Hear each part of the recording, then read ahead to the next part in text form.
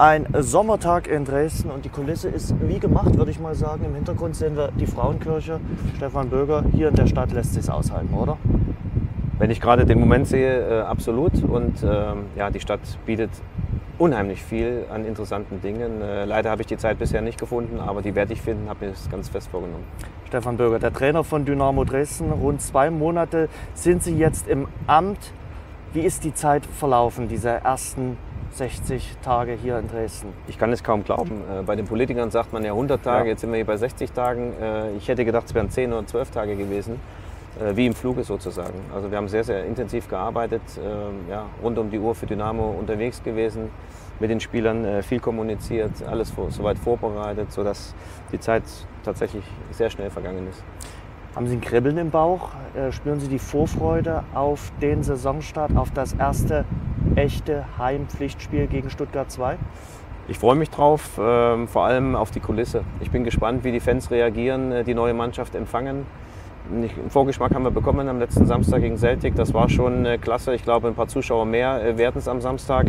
Und ähm, ich als Trainer bin natürlich immer wieder daran interessiert, wie sind die Spieler in der Lage, das umzusetzen, was wir uns über Wochen erarbeitet haben. Gelingt es schon oder müssen wir an den Stellschrauben noch ein bisschen drehen? Dresden ist durch die letzten Jahre so ein bisschen Testspiel geschädigt. Da gab es einen hohen Sieg mal gegen West Ham United, in der letzten Saison ein 4 zu 0 gegen den Hamburger SV. Da wollte der ein oder andere sich schon mal für den Europapokal anmelden und dann ist man in der letzten Saison abgestiegen. Was war der Test, die Generalprobe gegen Celtic Glasgow nun wert? Ich glaube mal unabhängig vom Gegner, der natürlich hochkarätig war und für die Zuschauer äh, hochinteressant war, ähm, waren es die Eindrücke, die wir von unserer Mannschaft gewonnen haben. Ich habe ein paar Dinge gesehen, die schon ganz gut geklappt haben, das Umschaltspiel in die Offensive, habe aber auch gerade im Abwehrverhalten äh, Dinge wahrgenommen, an denen wir noch arbeiten müssen und äh, die nächsten zwei Tage auf jeden Fall noch nutzen müssen. Definitiv die Mannschaft im Umbruch. 19 Abgänge, 14 Zugänge. Das ist also wirklich der Umbruch im Volldurch, Vollwaschdurchgang. Äh, Wie haben Sie das Ganze geschafft in den ersten zwei Monaten, das so hinzustellen, dass am Samstag eine Elf auf dem Platz steht, die die Möglichkeit hat, drei Punkte zu erzielen? Mit jedem Spieler, den wir neu dazugeholt haben, hat sich was entwickelt in meinem Kopf, hat sich eine Grundformation entwickelt und äh, letztendlich äh, werden wir elf äh, taffe Jungs auf, der, auf dem Platz haben und äh, auch im gesamten Kader äh, sehr große Ausgewogenheit. Ich glaube, alles äh, gut soweit erstmal besetzt, äh, dass da noch Lücken sind, äh, wir noch Zeit haben, das ist klar. Aber grundsätzlich äh, war es eine sehr kurze Zeit, um diese Prozesse anzuschieben, deswegen auch sehr intensiv. Äh, Und der Prozess ist noch lange nicht abgeschlossen. Also gerade die ersten Wochen äh, in den Pflichtspielen werden wir sehen, äh, was es wert ist, wo wir stehen. Und ja, das Schöne ist, dass man immer korrigieren kann, eingreifen kann, auch in der nächsten Zeit. Und ähm, die Mannschaft ist speziell auch im Trainingslager in Österreich äh, zusammengewachsen. Ja, ähm, so habe ich Sie- Sie aus einem Interview herausgelesen oder herausgehört. Das ist zum Beispiel äh, neben, dem eigentlichen, mit, neben der eigentlichen Trainingsarbeit so ein Aspekt, warum man ins Trainingslager fährt. Damit die Spieler quasi rund um die Uhr miteinander zu tun haben, sich kennenlernen, äh, sich aufeinander abstimmen, nicht nur auf dem Platz, sondern vor allem außerhalb. Und gerade wenn man eine neue Mannschaft übernimmt und die Mannschaft komplett neu zusammengestellt wird, sind diese Prozesse sehr, sehr wichtig und wertvoll. Jetzt ist ein Spieler nicht mehr mit dabei, der eine feste Identifikationsfigur für Dynamo, für Dresden war, der seit 2009 für diesen äh, Verein gespielt hat, die schwarz-gelben Farben getragen hat. Robert Koch ist äh, zu Wochenanfang nach Nürnberg gewechselt. Wie schwer wiegt der Abgang von Robert? Da machen wir alle, äh, Ralf Meng und ich, auch keinen Hehl daraus, dass uns das sportlich sehr wehtut, weil der Robert äh, nicht nur fest eingeplant war für die äh, Startformation, sondern auch mit seiner Fähigkeit da durchaus hätte die Mannschaft führen können, gerade im Offensivbereich. Äh, Nichtsdestotrotz nutzen wir die Möglichkeit, uns dann weiter umzuschauen, ob wir Alternativen finden. Kurzfristig haben wir sie jetzt nicht gefunden für die Offensive, aber das wird uns in Zukunft gelingen. Aber es wird ein Ersatz für Robert Koch kommen. Wir werden, äh, wir werden uns bemühen, was zu verpflichten, äh, das vielleicht auf mehrere Schultern verteilen. Und äh, gerade die Spieler, die da sind, ob das Justin Eilers ist, Luca Dörholz, auch der junge Marvin Stefaniak, äh, kommen Valius dazu, die sind natürlich jetzt gefordert, den nächsten Schritt zu tun und da eben noch deutlicher sich ins Rampenlicht zu spielen. Gerade mit Blick auf die Offensive, auf den Sturm, würde ich mal sagen, ist man dort noch ziemlich dünn besetzt. Dort, gerade auch mit dem Hintergrund, dass Tobias Müller ja verletzt ist, noch ein bisschen ausfallen wird. Dort wird sich sicherlich möglicherweise auch noch was tun müssen. Nicht zu vergessen äh, Christian Fjell, der uns äh, auch äh, wehtut, äh, sein Ausfall. Aber ist, wie gesagt, auch die Chance für Leute aus der zweiten Reihe, Dominik Baumann nicht zu vergessen, junges Talent, Stefaniak, sich zu zeigen, sich zu präsentieren. Aber ich gebe Ihnen recht, in der Breite sind wir da noch nicht so richtig gut aufgestellt.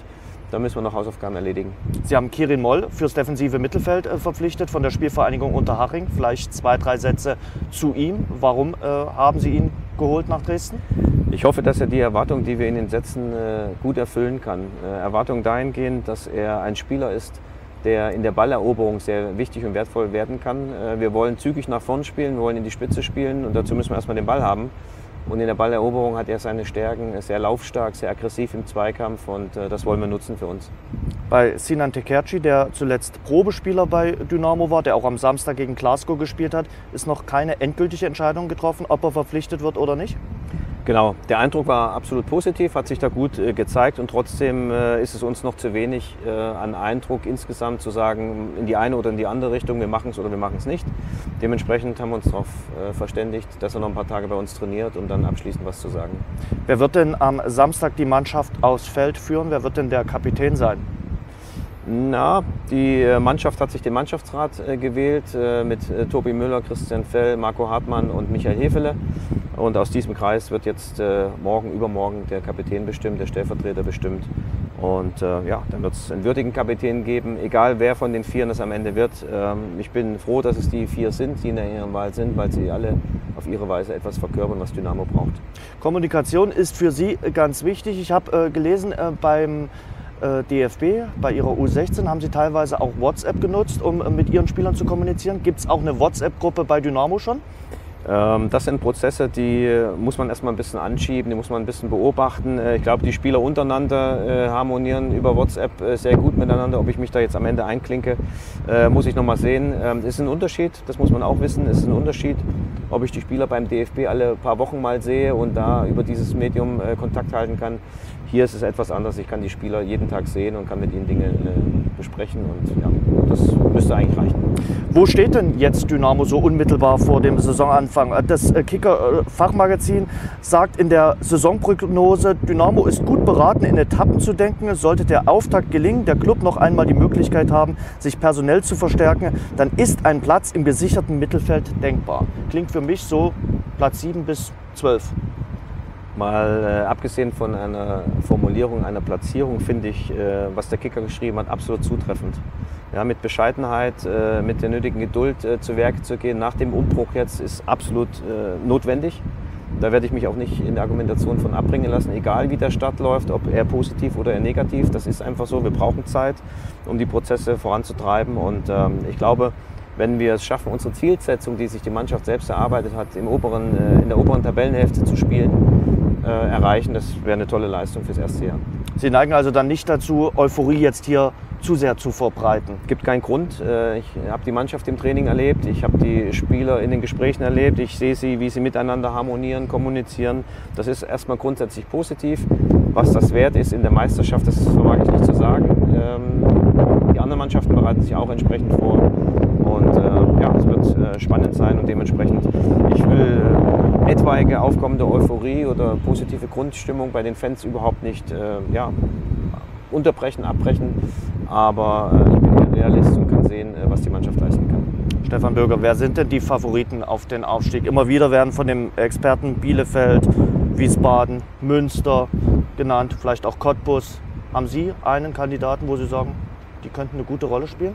Grundsätzlich glaube ich, dass diese genannten äh, Vereine eine sehr gute Rolle spielen werden in der Liga, weil sie äh, A über längere Zeit ihren Kader zusammen haben, äh, B nachgewiesen haben in der Liga, wozu sie imstande sind, sind weitestgehend zusammengeblieben.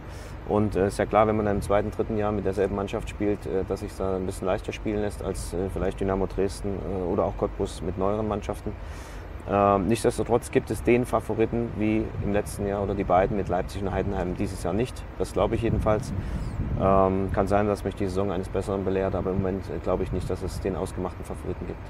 Die Verpflichtung von Ralf Minger als Sportgeschäftsführer und die Verpflichtung von Ihnen, der Sie früher äh, DFB-Nachwuchstrainer war, war ein klares Indiz dafür, dass Dynamo wieder künftig mehr auf den eigenen Nachwuchs äh, setzen will. Und die A Jugend hat es ja wunderbar geschafft. Die haben den Klassenhalt in der Bundesliga souverän äh, gemeistert. Wer könnte aus dem Nachwuchs von Dynamo am ehesten, am schnellsten den Durchbruch schaffen. Den ein oder anderen Spieler hatten Sie ja auch äh, zuletzt im Trainingslager mit dabei. Genau, das war mir ganz wichtig, äh, gleich äh, zu Beginn mit äh, Jan Seifert und auch David Bergner zu sprechen, um zu hören, was im eigenen Stall an Talenten schlummert und dann die Entscheidung zu treffen, die Spieler anzuschauen. Ähm, es ist jetzt so, dass ähm, ja, bis auf Tommy Klottke, der nach Bautzen gegangen ist, quasi alle Spieler nach wie vor im Kader sind, sich zeigen können. Und wenn ich an Marvin Stefaniak oder Dominik Baumann denke, ja, äh, das sind wirklich Talente, die ihren Weg äh, gehen werden, ja, so sie äh, klar bleiben im Kopf, äh, so sie sich auf die Gegebenheiten im Profifußball einstellen können. Äh, von den beiden gerade erwarte ich eine ganze Menge. Die Fußballteams haben jetzt die Möglichkeit, die zweite Mannschaft abzuschaffen. Der ein oder andere Verein hat davon schon Gebrauch gemacht. Jürgen Klopp nennt das den größten Schwachsinn aller äh, Zeiten. Wie sehen Sie die Regelung? Wie wichtig ist die zweite Mannschaft von Dynamo auch in diesem ganzen Gefüge? Manchmal ist mir die Diskussion äh, zu pauschal geführt. Also man kann nicht pauschal sagen, äh, man muss sie abschaffen oder man muss sie beibehalten. Ich glaube, dass jeder Verein gut beraten ist, auf seine eigene Situation zu schauen. Äh, in welcher Liga spielt die Mannschaft? Es ist ein deutlicher Unterschied, ob die U23 in der dritten oder in der vierten Liga spielt. Das ist so. In der vierten äh, Liga, in der Regionalliga, ist der Sprung oftmals in die zweite Ligamannschaft oder Profimannschaft des Vereins, in die erste Liga, äh, einfach viel zu groß. Ja, da kann man schon darüber nachdenken, aus wirtschaftlichen Gründen, ob man da Veränderungen herbeiführt. Dritte Liga, äh, Dortmund, Stuttgart, äh, ja, absolut sinnvoll, die dabei zu haben als Unterbau für die Profimannschaft. Vor 10, 11 Tagen war Deutschland im Freudenrausch. Äh, der vierte Weltmeistertitel wurde errungen in Brasilien. Welche Folgen hat dieser Weltmeistertitel in Sachen Euphorie auch für die Saison möglicherweise in der dritten Liga?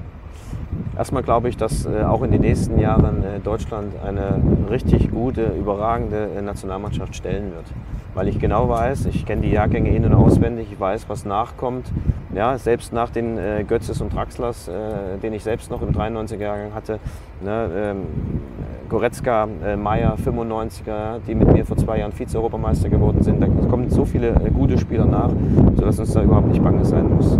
Auswirkungen für die dritte Liga, ich glaube insbesondere was die Zuschauer äh, angeht, die, die Begeisterung auf den Rängen, die wird anhalten, die wird mit äh, rüberschwappen in die dritte Liga, zweite Liga, erste Liga sowieso.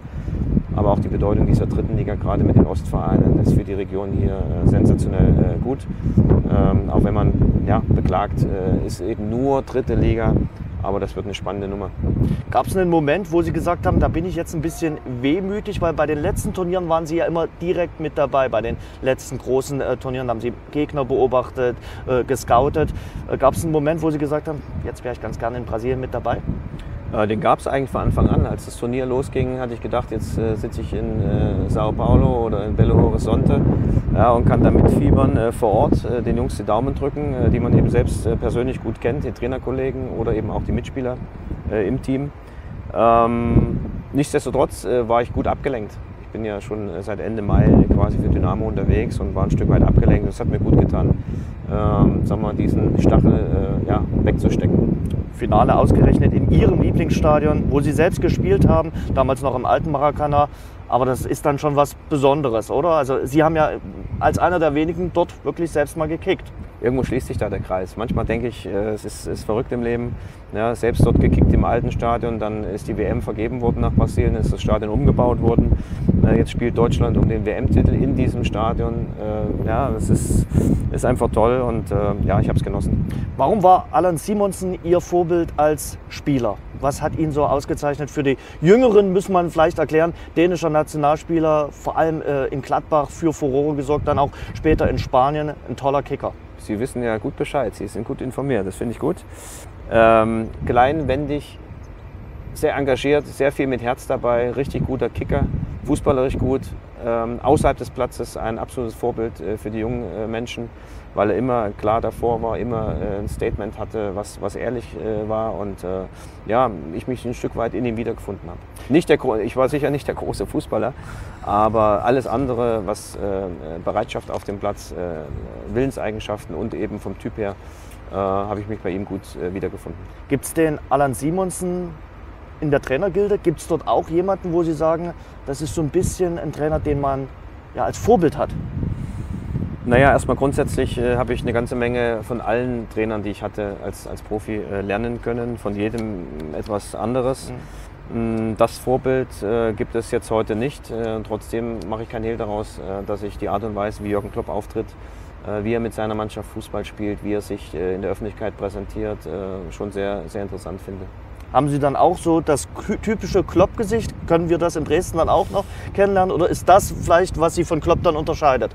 Ja, das weiß ich nicht. Äh, Den Bart wird es sicher in der Form so nicht geben. Äh, Haartransplantationen äh, hätte ich zwar nötig, aber die wird es auch nicht geben. Da bin ich äh, wenig eitel. Aber ähm, ja, so diese Emotionalität am Spielfeldrand, die ist durchaus zu erwarten. Bin äh, nach dem Spiel Settig äh, vom MDR gefragt worden, äh, ja, ob davon auszugehen sei, dass ich die 90 Minuten auch in der Coachingzone hoch und runter marschiere, wie es bei dem Spiel war. Ne, Ob es immer so extrem ist, weiß ich nicht. Äh, Wenn die Mannschaft entsprechend äh, spielt, äh, ist es hier und da auch sinnvoll, äh, mehr Ruhe auszustrahlen am Spielfeldrand. Und äh, irgendwo auch da macht es die Mischung. Das beherrscht der Jürgen Klopp im Übrigen hervorragend. Also der ist auch nicht 90 Minuten unterwegs. Punktuell greift er mit ein und ja, zofft sich schon ganz gerne auch mal mit den vierten Offiziellen. Ähm, da muss ich mich sicher disziplinieren, aber es kann äh, durchaus vorkommen, dass es da auch Diskussionsbedarf gibt. Machen Sie sich keine Sorgen, ich habe auch noch weniger Haare auf dem Kopf und es geht auch irgendwie. Aber Sie sollen sehr abergläubig äh, sein oder gewesen sein. Jetzt beschränkt sich das auf einen Teil, oder? Habe ich jetzt so gehört. Also äh, der Aberglaube ist aber immer noch ein bisschen vorhanden. Äh, zeigen Sie mir den Fußballer, der nicht abergläubig ist. Also wer das äh, von sich behauptet, der, der keinen Ritualen nachhängt, äh, dem wird es wahrscheinlich kaum geben. Ob Spieler oder dann Spieler gewesen und jetzt Trainer, das ist, glaube ich, was völlig Normales. Irgendeine kleine Macke hat da jeder, der auf dem Feld ist. Was ist Ihre Macke? Ja, ich äh, halte mich schon auch an, an Rituale, was äh, Abläufe am Spieltag angeht, äh, im Vorfeld, ähm, jetzt ohne ins Detail zu gehen, aber eben auch gerade was das Aufwärmen angeht. Ich schaue mir den ersten Teil des Aufwärmens gerne an, schaue den Spielern gerne in die Augen, wenn sie sich äh, grundaufwärmen von Anfang an. Dann verschwinde ich in der Kabine und äh, ja, ein bisschen aus dem Nähkästchen geplaudert, belohne mich dann für die Wochenarbeit mit einer schönen gepflegten Tasse Kaffee und einem schönen trockenen Stück Kuchen. Das, klingt- ist meine Belohnung vor dem Spiel. Die muss sein und äh, die brauche ich dann auch. Was ist der Lieblingskuchen? Käsekuchen. Ich Käsekuchen. esse unheimlich gerne Käsekuchen. Ach, ich denke mal, so eine Dresdner Eierschecke werden Sie hier äh, definitiv finden. Der ist äh, auch sehr, sehr lecker. Habe ich schon probiert. Äh, die ich da allerdings gegessen habe, die hat mir nicht so richtig geschmeckt. Ich sage jetzt auch nicht, wo ich sie gegessen habe. Besser ist das. Aber es gibt, äh, ich habe, äh, wo habe ich das eigentlich gelesen? Ich lese gerade ein schönes Buch, genau. Ähm, Immer noch das große ein- Los? Nein, nein, nein, nein. Das ist, Ist ja schon lange, abge- lange also Sie sind. Ich lese ja quer. Ich lese ja quer. Ich muss ja viel lesen und deswegen lese ich quer. Habe ich mal irgendwann angewöhnt. Und dementsprechend geht das auch zügig mit den Büchern. Nein, ich lese so ein, äh, von der Ur, Ur, Ur, Ur, Urenkelin von dem Herrn von, äh, von Brühl oder Brühl, äh, von dem dann die Brühlschen Terrassen und so weiter. Ein schöner, schöner äh, Wegbegleiter momentan, so ein bisschen den Einstieg in, nach Dresden zu finden. Und ähm, da ging es äh, dann darum, ja, was, was esse ich eigentlich und trinke ich in Dresden? Und da kam die berühmte Eierschecke vor. Also die wird mich verfolgen die nächste Zeit. Davon gehe ich fest aus und wir haben uns schon so ein bisschen vorgenommen, also den Eierscheckentest müssen wir machen und den äh, Bratwursttest. Also, weil Stefan Böger geht ja davon aus, dass er die Thüringer Bratwurst von der sächsischen Bratwurst unterscheiden kann. Ich hoffe, dass den Bericht oder den Beitrag meine Spieler nicht unbedingt äh, hören und sehen, weil das sind natürlich zwei Sachen, Eierschecke und auch äh, Thüringer Bratwurst, die sicher nicht äh, sportgerechte Ernährung sind. Nichtsdestotrotz, man darf auch mal sündigen. Und äh, den Bratwursttest, dem stimme ich zu, weil ich da relativ äh, sicher bin. Eierschecke müsste ich mal vortesten, bevor da- wir den da eigentlichen Test machen. Da geht es ja einfach erstmal nur darum, ihren Geschmack zu treffen und damit sie dann wissen, welche die richtige Eierschecke wir ist. Apfelschorle noch Lieblingsgetränk, Ja. Hühnerfrikassee noch das Lieblingsessen. Ganz genau. Äh, Hühnerfrikassee mit Reis, total gesund. Erstens, Apfelschorle, total gesund. Da kommt der Leistungssportler durch. Ich glaube, wenn man äh, jetzt, muss ich mal überlegen, ja, mehr als 30 Jahre äh, Leistungssportler ist, äh, oder ja, deutlich mehr als 30 Jahre, ähm, dann hat man das einfach drin und äh, das werde ich auch die nächste Zeit nicht mehr umstellen. Das ist noch ein weites Feld. Es gibt noch viel zu äh, besprechen, viele offene Fragen. Ähm, ich denke mal, das ruft nach einer Fortsetzung, aber wir haben noch Fragen von äh, Hörern, von Nutzern unserer Twitter- und Facebook-Plattform auf Radio Dresden. Nutzen Sie eigentlich die äh, sozialen Ne- Medien? Sind die für Sie wichtig und entscheidend? Denn Sie kommen ja auch aus einer Generation, äh, wo es noch normale Telefone gab, wo es noch äh, Wenn es die gab, Telefonzellen wenn's die gab, Genau. wenn's, wenn's die gab, die Telefone. Die gab es auch nicht überall. das die gab's stimmt, auch nicht wo man überall. 20 äh, Pfennig in den Münzfern- Schlitz geschmissen. Münzfernsprecher Richtig, Teil. Münzfernsprecher. Ja, fragen Sie mal die Spieler, was ein Richtig. Münzfernsprecher ja, ist. Das Ja, also das ist mir schon noch äh, geläufig. Ähm, ich bin tatsächlich eher ein Mann der alten Schule. Äh, Zettel und Stift äh, sind mir sehr nah und äh, soziale Netzwerke nutze ich äh, eher nicht. Aber nicht, weil ich sie ablehne, sondern ich finde es spannend, wenn die junge, äh, junge Leute das machen. Ich nutze es eher nicht, weil ich glaube, allzu viel, gerade vom Privaten, sollte man in dem Beruf auch nicht preisgeben. Wann ist Handyverbot im Bus, im, in der Kabine? Wann müssen die Spieler mal das Handy ausschalten? Das ist, glaube ich, ein ganz wichtiger Punkt. Ähm, Handy hat in der Kabine nichts zu suchen. Ich weiß nicht, was so weltbewegendes passieren soll, dass man da nicht mal zwei Stunden darauf verzichten kann, am Vormittag oder auch am Nachmittag.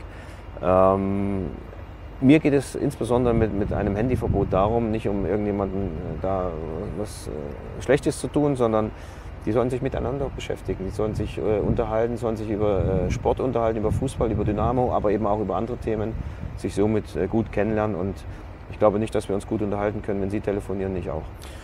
Das ist definitiv so. Und jetzt bin ich gespannt, was Sie auf die Fragen äh, antworten, die uns gestellt worden sind. Zahlreiche Fragen sind es. Wir gehen mal durch und versuchen einige zu beantworten. Wie haben Sie das Dresdner Umfeld bislang wahrgenommen und freuen Sie sich auf die Kraft, die der K-Block mit sich trägt oder ängstigt Sie möglicherweise auch die Macht des K-Blocks? Ich habe äh, beide Situationen erlebt. Den K-Block erlebt äh, bei tollen Spielen, bei Siegen von Dynamo und äh, leider Gottes auch äh, bei dem Spiel gegen Bielefeld. Also beide Erscheinungen äh, sind mir bekannt. Ist also nichts Neues. Äh, eigenes Erleben ist dann nochmal was anderes, da gebe ich Ihnen recht.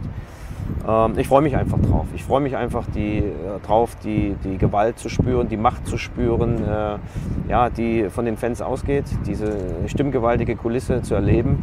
Und äh, ja, bin grundsätzlich positiv eingestellt und äh, ja, freue mich drauf. Gibt es denn schon Lösungen, namentlich äh, den Weggang von Robert Koch zu kompensieren? Und mit einem Augenzwinkern gefragt, wen wünschen Sie sich für die zweite Runde im DFB-Pokal? Mit dem Augenzwinkern? Die zweite Frage. Ja, die war mit. Ja. Ja. Ähm, es gibt noch keine, keine Lösung für Robert Koch. Äh, wir sind bemüht, gerade im Offensivbereich äh, nachzulegen. Das, das müssen wir tun, weil wir in der Breite nicht gut aufgestellt sind. Schalke, ja, ist eine tolle Geschichte, das muss man einfach sagen. Es werden sich die Jungs in den ersten Spielen hoffentlich erarbeiten, dann auf dem Platz zu stehen und gegen einen Champions League-Teilnehmer zu spielen vor ausverkauftem Haus. Das sind die Spiele, worauf sich der Fußball einfach nur freuen kann. Und äh, ja, wenn wir starten, wollen wir natürlich auch gewinnen, ist ja klar. Sie werden mir jetzt sicherlich keinen Namen äh, verraten, aber es wird auch gefragt, äh, wen würden Sie gerne haben, wenn er bezahlbar wäre für den Sturm? Gibt es einen, den Sie im Kopf haben, wo Sie sagen, das ist aktuell Ihr Wunschstürmer? Naja, wir müssen ja nicht rumspinnen. Also äh, Rames äh, kriegen wir jetzt nicht mehr. Der schwierig. Ist, äh, für schwierig. kleines Geld äh, nach Madrid gewechselt. Äh, den hätte ich auch gerne in Dresden gesehen.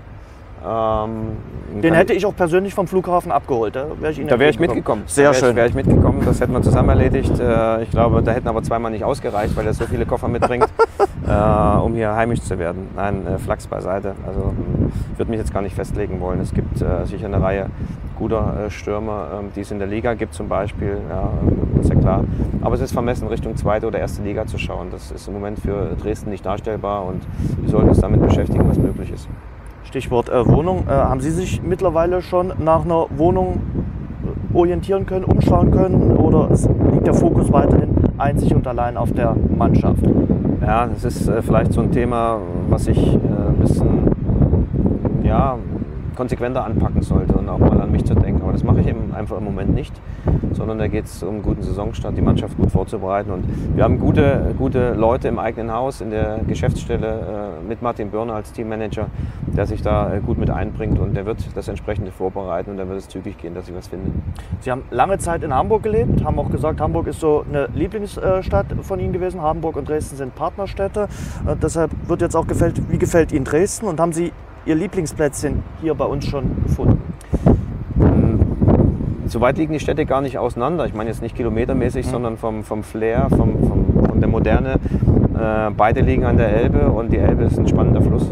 Das muss ich einfach sagen. Das ist in Hamburg so und das habe ich in Dresden auch festgestellt, äh, hier schon. Sehr interessant und äh, irgendwo in Wassernähe. Also den Platz gibt es jetzt noch nicht, aber irgendwas, was mit Wasser und Bergen zu tun hat, Weinberge, Wasser, da werde ich mir was äh, suchen, wo ich mich auch mal zurückziehen kann. Ich denke, da werden Sie auf jeden Fall was finden. Wie sehen Sie sich selbst als Trainer? Sind Sie ein Trainer, der trotz Misserfolge in der Öffentlichkeit das Ganze dann versucht, so ein bisschen zu kaschieren, möglicherweise schön zu reden? Oder auch einer, der in der Öffentlichkeit mal Tacheles und harte äh, Kritik äußert? Auch da die Antwort äh, nicht pauschal, sondern wirklich situativ zu gucken, ähm, ja, nicht jetzt äh, meine Emotionen freien Lauf zu lassen. Das, äh, das kann schon auch mal à la Thomas Doll oder äh, Trapattoni passieren, äh, sollte aber die Ausnahme sein oder vielleicht auch gar nicht vorkommen. Ich glaube immer zu gucken äh, ist wichtig, was hilft der Mannschaft in der Situation. Darum geht es. Derjenige, der vorweg marschiert, nämlich der Trainer, dann auch die Klarheit zu behalten äh, nicht durchzudrehen, nicht positiv äh, zu übertreiben, wenn es jetzt mal richtig gut läuft, aber auch nicht zu Tode erstarrt zu sein, wenn es nicht so richtig funktioniert, sondern immer konstruktiv zu bleiben, zu gucken, was hilft der Mannschaft im nächsten Schritt und äh, das, was zu besprechen gibt, auch durchaus mal emotional, äh, das passiert dann hinter verschlossener Kabinentür.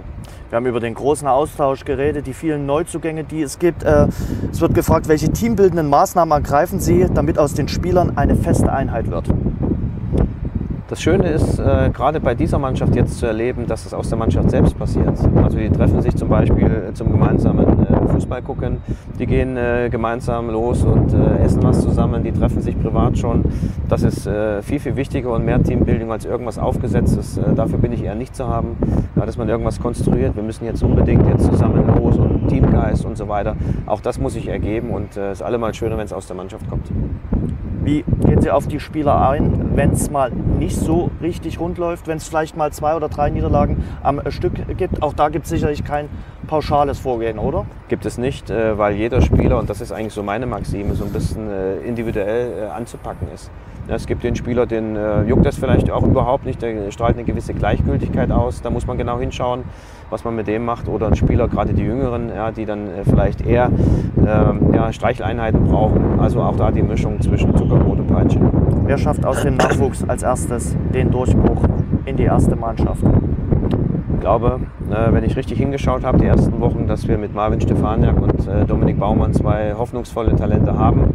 Ähm, wir tun ihnen trotzdem keinen Gefallen, zu viel Druck aufzubürden, den Ballast zu groß werden zu lassen. Die sollen jetzt mal äh, frech, wie sie sind, drauf losspielen. Natürlich immer in einem Konzept, das ist auch klar. Die müssen sich auch an gewisse Dinge halten, aber mit ihrer Kreativität, gerade im Offensivbereich, äh, sollten sie Farbtupfer sein für Dynamo und äh, da kriegen sie von mir jede Unterstützung. Trainer, vielen Dank fürs Gespräch. Dort hinten ist das Stadion, um es mit Jürgen Klopp zu sagen. Wir würden uns wünschen, dass wir mit Dynamo der kommenden Saison die ein oder andere Vollgas-Veranstaltung erleben können in Schwarz-Gelb. Das wäre echt toll und da würden wir uns alle, alle Dresdner, alle Dynamo-Fans in der Region sehr freuen. Rennen Sie bei mir offene Türen ein, ich bin dabei, ich werde mein Bestes geben und die Mannschaft, da bin ich sicher auch. Vielen Dank fürs Gespräch. Dankeschön.